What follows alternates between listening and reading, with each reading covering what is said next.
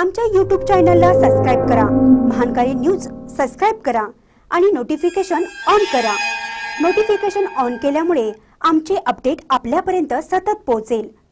इचलकंजीत कैलासवासी भाई नेहरूकर चषक राज्यस्तरीय खो खो स्पर्धा. सत्तावीस जानेवारीला होणार शुभारंभ. अठरा लाखांची रोख बक्षिसे. इचलकंजी येथे कैलासवासी भाई नेहरूकर चषक राज्यस्तरीय शासकीय खो खो स्पर्धेचे शनिवारी सत्तावीस ते बुधवारी एकतीस जानेवारी पर्यंत आयोजन करण्यात आल्याचे आमदार सुरेश हळवणकर यांनी पत्रकार बैठकीत सांगितलं. कैलासवाशीबाई नेरुकर चषक राज्यस्तरीय शासकीय खो खो स्पर्धा या दरवर्षी राज्यस्तरावर वरिष्ठ गट पुरुष गट महिला गट व चौदा वर्षाखालील मुले व मुली गटात महाराष्ट्र शासन खो खो असोसिएशन व विदर्भ खो खो असोसिएशनच्या मार्फत या स्पर्धा आयोजित केल्या जातात. पुरुष व महिला एकूण चोवीस संघ तर किशोर व किशोरी सोळा संघ असे एकूण चाळीस संघ दाखल होणार आहेत.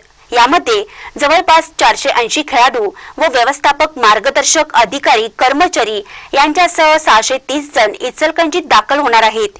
या स्पर्धेतील विजेत्या संघातील खेळाडूंना प्रत्येकी अनुक्रमे पंधरा हजार दहा हजार सात हजार प्रत्येकी खेळाडूंना देण्यात येणार आहेत.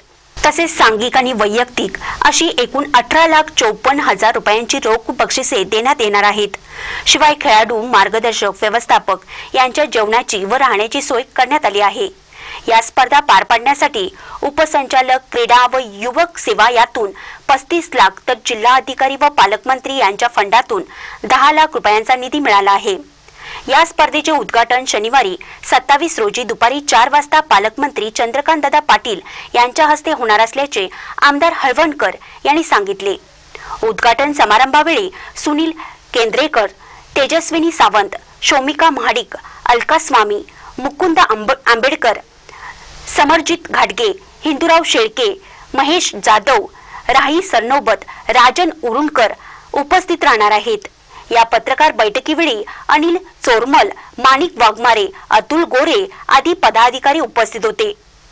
महानकारी न्यूजसाठी एचलकंजीहून दत्तात्रय कदम. राज्यस्तरीय स्पर्धेचं आयोजन इचलकरंजीमध्ये सत्तावीस तारखेला जिल्ह्याचे पालकमंत्री चंद्रकांत पाटील यांच्या उपस्थितीमध्ये या स्पर्धेचं उद्घाटन होणार आहे. या स्पर्धेमध्ये सहाशे तीस खेळाडू हे राज्यभरातले चाळीस संघ याच्यामध्ये सहभागी होणार आहेत. ही पहिल्यांदाच अठरा लाखाची रोख पारितोषिकं देणारी ही महाराष्ट्रातली पहिली स्पर्धा ही इचलकरंजीमध्ये होते.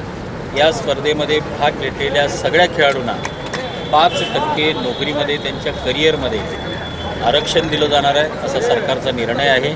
त्यामुळे ही मानाची सन्मानाची स्पर्धा ही इचलकंजीतल्या जनतेने या खेळाडूंचं प्रोत्साहन वाढवावं अशी मी तमाम इचलकंजीकरांना विनंती करतो की आपण याच्यामध्ये सहभाग